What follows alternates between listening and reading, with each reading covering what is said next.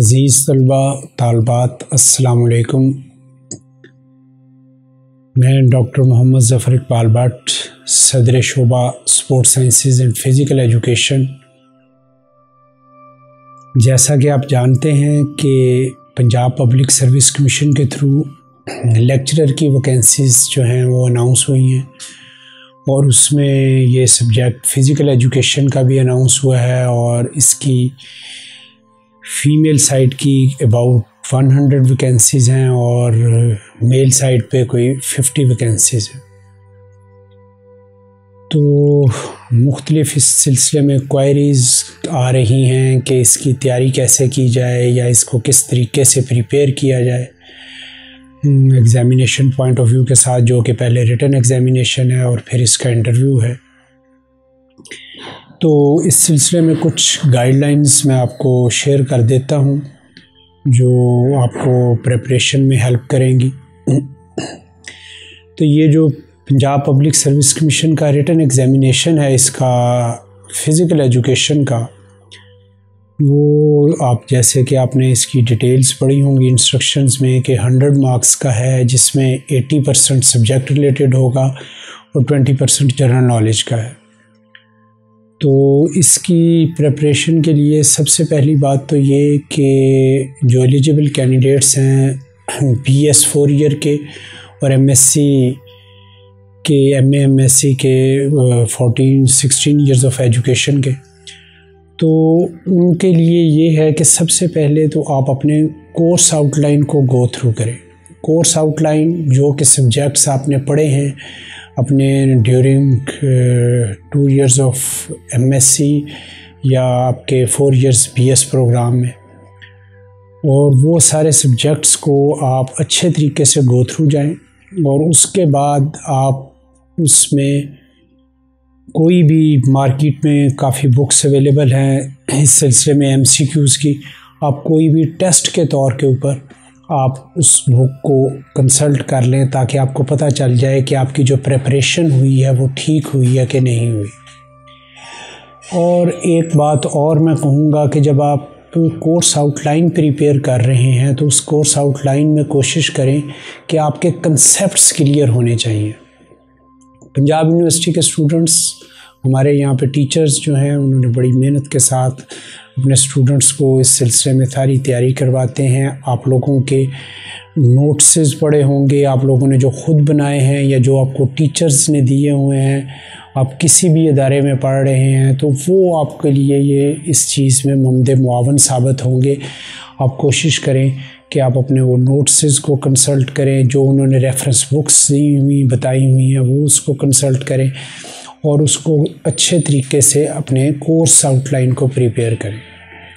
और course outline में आपके कोई अगर हम एम की बात करें एम एम एस सी की कोई कोई पंद्रह से सोलह सब्जेक्ट्स हैं, इसी तरीके से बी एस में कोई बात करें तो कोई अबाउट ट्वेंटी वन सब्जेक्ट्स हैं तो आप इन तमाम सब्जेक्ट्स को पहले फुली प्रिपेयर करें। और उसमें से ही आपका जो है एट्टी परसेंट जो है वो पेपर उसमें से होगा। और इसी तरीके से जनरल नॉलेज के पॉइंट ऑफ़ व्यू के साथ आप करंट अफेयर्स और पाकिस्तान अफेयर्स के ऊपर भी ज़रूर नज़र रखें और उसके लिए बड़ा सिंपल सा वे है कि आप डेली न्यूज़पेपर को जो है, वो ज़रूर उसको, उसकी हेडलाइंस को देखें। इसी तरीके से आप टीवी पे अगर देखते हैं तो उसमें हेडलाइन न्यूज़ सुने। ये चीज़ आपके लिए सिर्फ़ और सिर्फ़ पेपर के जनरल नॉलेज के लिए ही नहीं, बल्कि आपके इंटरव्यू के लिए भी बहुत अच्छी मददगार साबित होगी। अगर हम इसकी बात करें तो स्पोर्ट्स की फ़ील्ड और फ़िज़िकल एजुकेशन की जब हम पेपर की बात कर रहे हैं तो इसमें आपका जो है, इस चीज़ को आपने केयर करनी है कि आप जो भी आपका प्रैक्टिकल और थ्योरेटिकल नॉलेज ये दोनों ही टेस्ट होते हैं।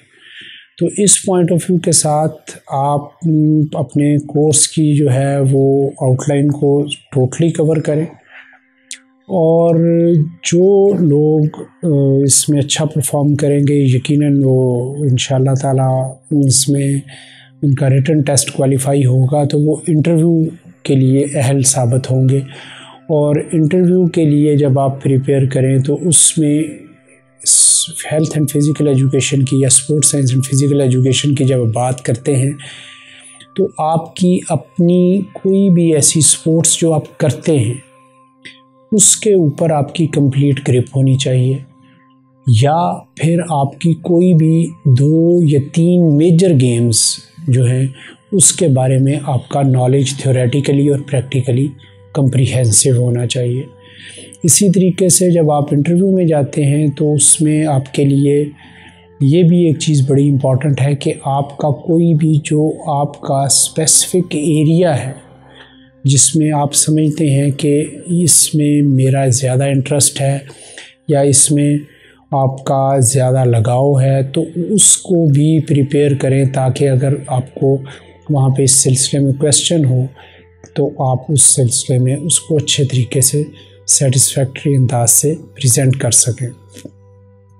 इसी तरीके से जब हम इंटरव्यूज़ की बात करते हैं तो इंटरव्यूज़ में फ़िज़िकल एजुकेशन की जब बात करते हैं तो दो तीन एरियाज़ को स्पेसिफ़िकली वहाँ पे तकरीबन आपका हर एक्सपर्ट जो होता है, ख़ास करके जो सब्जेक्ट एक्सपर्ट्स होते हैं, वो उसको ज़रूर जो है उस सिलसिले में कोई ना कोई क्वेश्चंस आपसे करते हैं, जिसमें कि कोई भी जो स्पोर्ट्स आपका जो जो आपने खेली होती है या वो स्पोर्ट्स जो कि मेजर स्पोर्ट्स जिसका आप नाम लेते हैं, उसका कोचिंग पॉइंट ऑफ़ व्यू तो कोचिंग पॉइंट ऑफ़ व्यू के साथ उसको ज़रूर प्रिपेयर करें। उसमें सिर्फ़ कोचिंग पॉइंट ऑफ़ व्यू के साथ यही नहीं, उसमें बाकी फैक्टर्स भी, जैसे उसमें स्पोर्ट्स साइकोलॉजिस्ट का क्या काम है स्पोर्ट्स न्यूट्रिशनिस्ट का क्या काम है, और स्पोर्ट्स बायोमकैनिस्ट का क्या काम है, और इनके साथ आप स्पोर्ट्स में किस तरीके से परफॉर्मेंस को अच्छा कर सकते हैं।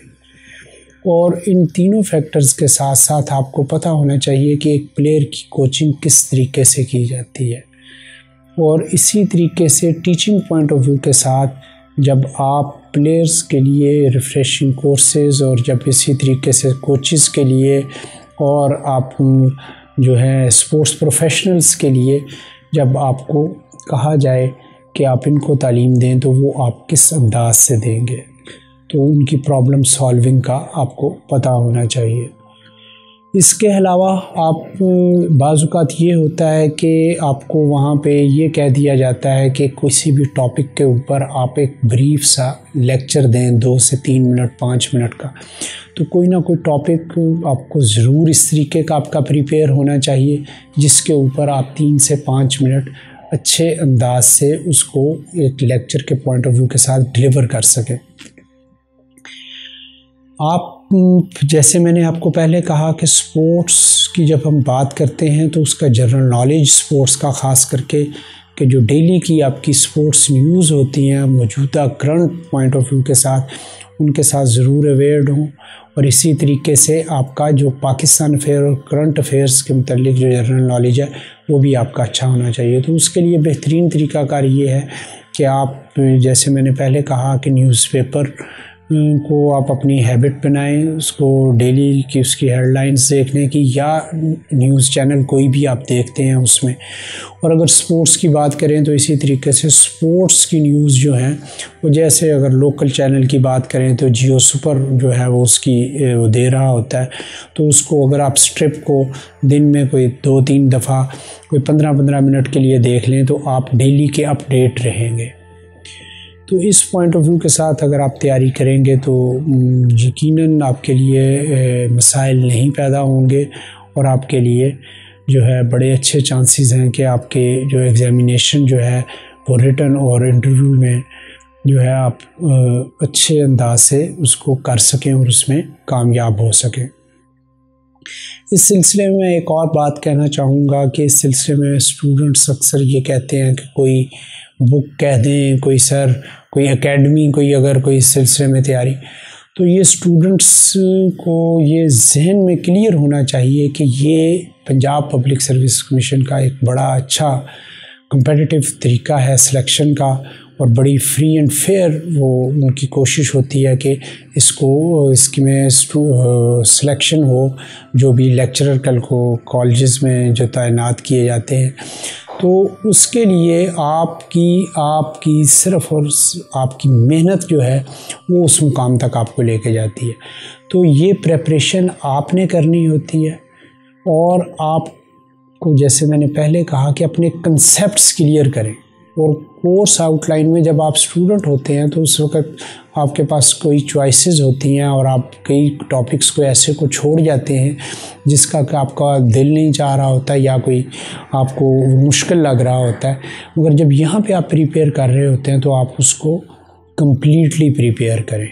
और ताकि आपको अगर वहाँ से भी कोई क्वेश्चन आ जाए तो आपके लिए कोई प्रॉब्लम ना हो। और कंसेप्ट क्लियर होगा तो वो प्रॉब्लम नहीं होगी। इसी तरीके से अपनी टाइम डिस्ट्रीब्यूशन या प्लानिंग जो होती है अपने पेपर को करने के लिए, वो उसके लिए भी अपने आप को प्रिपेयर करें। आपने 90 मिनट्स में आपने 100 क्वेश्चन करने होते हैं। तो उसके लिए बाज़ात ये होता है कि आप, के लिए टाइम वो कम पड़ जाता है। उसके लिए आप अपनी रीडिंग को बेहतर करें। रीडिंग आपकी अच्छी होगी तो आप टाइमली वो चीज़ों को पढ़ के उस सिलसिले में अपने आप को पेपर में, पूरे टाइम के ऊपर पेपर कर सकेंगे। और इस सिलसिले में भी मैं ये कहूँगा कि मल्टीपल चॉइस क्वेश्चंस होते हैं सारे, कि जहाँ पे आपको क्लोजेस्ट आंसर जो होते हैं, वो तीन या चार चॉइसेस की शक्ल में आपके पास दिए होते हैं तो उनमें से आपने राइट right आंसर को चूज़ करना होता है। तो ये बार बार प्रैक्टिस करेंगे तो ये है। ये 90 मिनट्स का पेपर तो है, मगर आप ये समझ लें कि आपके पास तकरीबन 80 मिनट्स होते हैं फाइव मिनट्स बिगनिंग के और फाइव मिनट्स एंड के। हम जो होता है उसमें पेपर की प्रेपरेशन या दूसरे महीनों में आप अपने पेपर को सीधा कर रहे होते हैं। तो कोशिश ये करें कि आप उसमें अपनी रीडिंग को और आप अपने फोकस जो होता है उस दौरान पेपर के दौरान, वो ध्यान से रखें ताकि आप जब एक दफ़ा स्टेटमेंट पढ़ें तो आपके जहन में क्लियर हो और उसके मुताबिक आप चॉइसेस में से उसको चूज़ कर सकें कि एग्जैक्ट आंसर क्या है। तो मेरी आप लोगों, सब लोगों को यही है, सब स्टूडेंट्स के लिए और यही गाइडलाइन है कि आप इसनी को फॉलो करें और ये आपकी अपनी प्रेपरेशन है कि आपने उसमें आपके कामयाबी के कितने परसेंट चांसेस हैं। आप लोग अपनी डिग्री आप लोगों ने बड़े अच्छे अंदाज से, मुख्तलिफ़ अदारों से कंप्लीट की होगी इंक्लूडिंग पंजाब यूनिवर्सिटी आपके इस ने आपके ऊपर बड़ी मेहनत की। आप ने उस वक़्त अच्छे सी जी पी ए लिए, आपने अच्छे ग्रेडिंग हासिल की। मगर अब जो है आपकी उस सारी मेहनत का जो फल जो है, वो लेने का अब वक्त है। तो इसके लिए मैं ये यकीनन, ये बात जो आप लोगों के लिए बड़ी इम्पोर्टेंट है कि अपने हार्ड वर्क को जो है वो मत छोड़ें। और जितनी देर तक के आपकी ये मंजिल मिल नहीं जाती। और दूसरे सब्जेक्ट की नस्बत अगर मैं कहूँ कि इस सब्जेक्ट में आपके पास वैकेंसीज़ भी ज़्यादा हैं और बड़ी अच्छी अपॉर्चुनिटी है तो इसको अवेल करें। मेरी तरफ़ से आप सबको नेक आपके लिए तमन्नाएँ और दुआएँ आपके लिए। खुदा आपका हामी नासिर हो। अल्लाह हाफ़